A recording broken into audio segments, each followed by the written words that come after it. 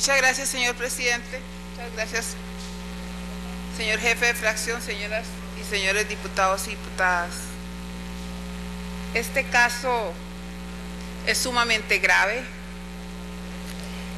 y aquí quisiera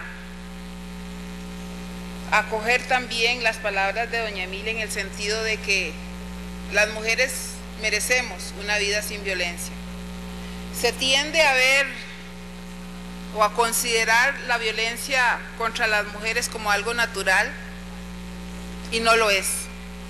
Aquí estamos hablando de violencia sexual. Todos los tipos de violencia son graves, pero esta es la más grave.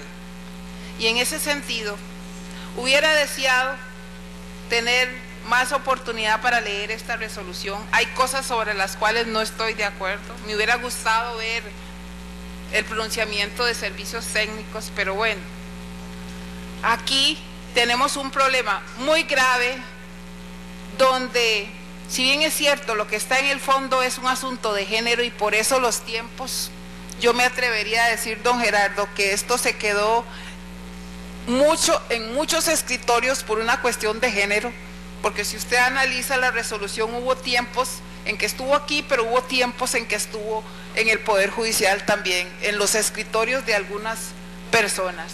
En ese sentido, yo creo que es urgente, yo estoy de acuerdo en que se baje el tiempo, no estoy de acuerdo en que se, haga, se abra una comisión, pero bueno, hagámoslo, pero esto tiene que decidirse. Y, y decidirse pronto, porque no puede haber impunidad, no puede haber impunidad.